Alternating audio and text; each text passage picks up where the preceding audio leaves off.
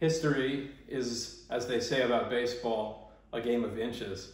Or in this case, history was literally a game of millimeters. How could that be? That an election in a country of 300 million people comes down to millimeters on a flawed design of a ballot? Well, this is what they call the butterfly ballot machine. You can see that it was used in Palm Beach County on November 7th, 2000, the presidential election between George Bush and Al Gore.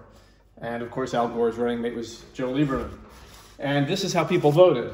They took one of these punch cards, they put it in, and they used this little pin to push a hole into that punch card and then take it out. Now, if you look closely here, you can see that hole number five, represented here, is how you vote for Al Gore and Joe Lieberman.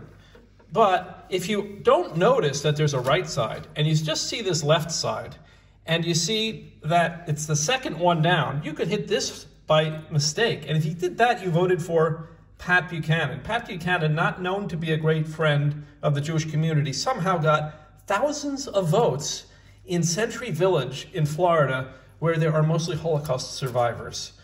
And, and, and so that is actually how it happened that those thousands of votes that accidentally, because of the ballot design, went to Pat Buchanan, and then other votes that uh, were hanging chads where it didn't punch through all the way, and courts had to rule on individual ballots. Did it get punched enough? It's a dimple chad, it's a hanging chad.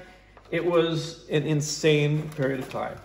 And that is how Joe Lieberman did not actually become vice president of the United States.